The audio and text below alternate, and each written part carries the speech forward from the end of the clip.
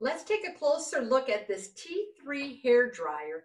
And I just finished drying my hair. As you can see, I have short hair and it is color treated. And I purchased this because of all the different settings this hair dryer has.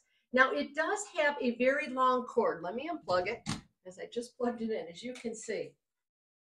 So if you are far away from a plug, no worries because your hair dryer is going to reach there. Now let's talk about these settings. Here you have the on off switch. And right here, it has three speed settings, five heat settings. You have a volume boost right here. And then there's this one right here. And it regulates how much air is coming out of the hair dryer. And then you have this cool boost right here.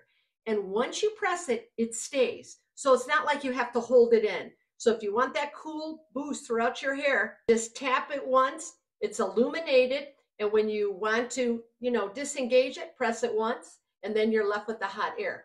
Now it comes with two attachments.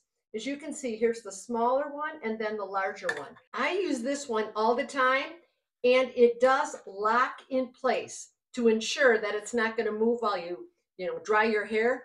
I have been using this now for about six months and this is a hair dryer I will keep using. So if you are debating whether or not to get this T3 hair dryer, I highly recommend it.